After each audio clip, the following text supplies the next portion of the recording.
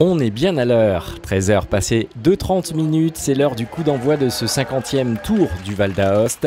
Pour rappel, cette course cycliste se dispute dans la région italienne de la vallée d'Aoste et les départements de Savoie, Haute-Savoie et également dans le canton du Valais en Suisse.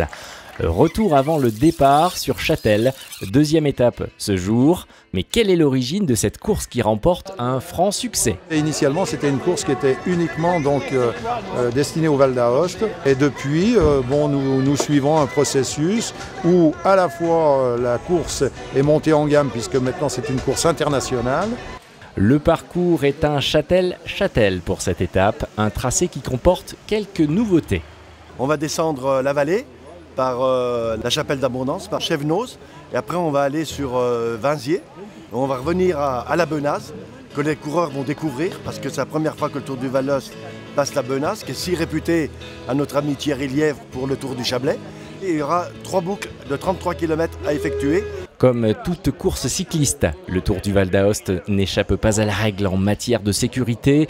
Un peloton de gendarmerie de 8 motocyclistes accompagné d'un véhicule léger est déployé afin de veiller au bon déroulement de la course. Alors il faut imaginer le principe d'une bulle, d'une bulle de sécurité, c'est-à-dire sera, qui sera commencé par effectivement deux motocyclistes qui vont signaler le, passage de la course à quelques intervalles réguliers avec euh, suivant, euh, suivant les échappées, euh, il y aura des motocyclistes de la gendarmerie également, et également deux en, fin de, course et avoir une autre mission d'évacuation sanitaire si nécessaire. Donc cette, bulle va se déplacer tout au long du circuit et va permettre le, le bon déroulement de la manifestation. Restons dans le côté technique au niveau du parcours avec un départ fictif dans le village, suivi d'un départ réel un peu plus loin dans Châtel. Alors là, je vais placer le kilomètre zéro avec les invités et ensuite je vais me mettre sur la course euh, dans la sécurité.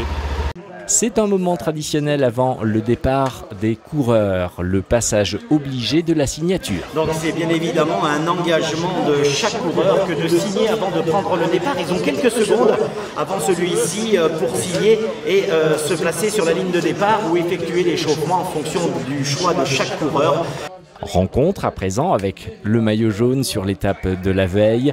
Il nous livre ses impressions. Yesterday was a really long day. And I was uh, I was tired from the first stage.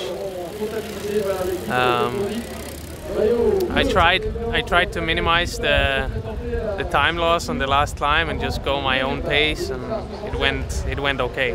Comme de coutume, Châtel rime avec convivialité. La place de l'église est transformée en cœur névralgique de la manifestation avec son buffet, sa buvette, ses musiciens, tout cela contribuant à faire de cet événement sportif un lieu sympathique. Après la course, le Tour du Val d'Aoste garde son côté festif avec à partir de 17h la suite du programme. Les coureurs euh, vont arriver aux alentours des 16h30, 16h45, certainement avant 17h, parcours très roulant et puis météo euh, favorable. Ensuite à 17h, euh, Châtel Tourisme offre un apéritif au présent ici sur la ligne d'arrivée. Et puis nous enchaînerons ensuite avec euh, la restauration et la buvette de l'association des commerçants de Châtel. Et dès 21h, grand bal, grande soirée musicale, musique et variété internationale avec le groupe Les Choucas. Et les Chouquettes, s'il y a des danseuses, bon, de quoi euh, satisfaire le plaisir des yeux, le plaisir gustatif et puis de partager tout ça avec beaucoup beaucoup de monde sur la place de l'église. Critérium du Dauphiné cyclo-sportif de la montée de Bassachaux, Tour du Val d'Aoste. Les courses cyclistes sont nombreuses à Châtel, alors rendez-vous dans le village pour un prochain départ.